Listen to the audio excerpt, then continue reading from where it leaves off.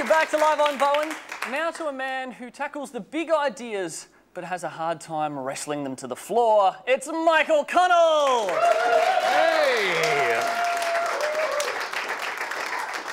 Uh, Shakespeare said, nothing is either good or evil, but thinking makes it so.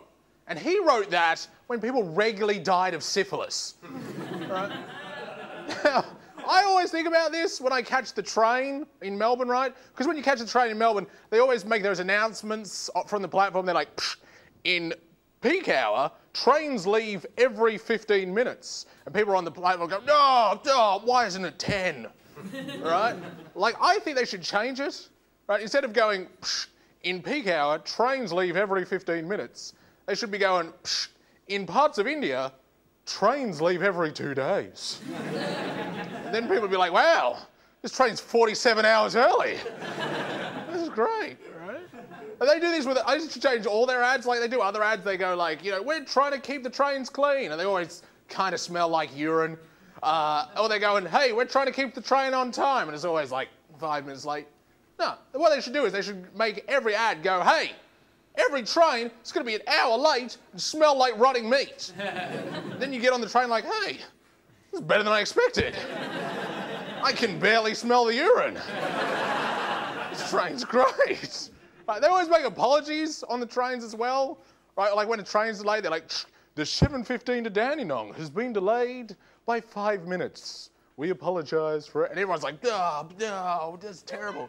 Right? what they should do is they should go, there's children starving in Africa, there's wars in the Middle East, and the 7.15 to Dandenong has been delayed.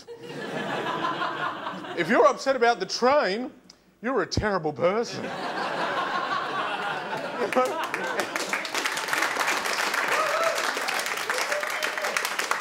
it's your perspective that matters, right? Right? They, they should, like that. Apologising doesn't make people feel any better. They should just be honest with it. They should just be on there going, the 7.15 to Dandenong has been delayed by five minutes. What are you going to do? what? Yeah, nothing. That's what I thought. What, you're going to walk to Dandenong? I don't think so. You're lucky to have a train at all. Right? See, it's not the thing, it's not what happens that matters, it's what you think about what happens that makes you feel one way or the other. Right? Like, I, always, I, when I'm on the train, like I always think of this, like the train is late, five minutes late, that's a fact. Whether it's good or bad the train's five minutes late, that's up to you right? You'll think it's bad if you're waiting on the platform trying to get home to see the start of MasterChef. it's good if you've just fallen on the tracks. the 7.15 to Dandenong has been delayed by five minutes. Oh, thank goodness! oh, and I even, like, I, it's hard to remember this. Like, I forget this sometimes, right? Like, even I, sometimes I go, oh, late trains make me angry. Late train, but late trains don't make me angry. I'm only angry when I'm catching a train trying to go somewhere, right? If late trains made me angry, like there's late trains all the time, right? If late trains made me angry, I'd be just like sitting at home sometime, watching TV, just like, oh, fists clenching, head throbbing, oh, the 445 to Knox is slightly late. Oh, I can sense it.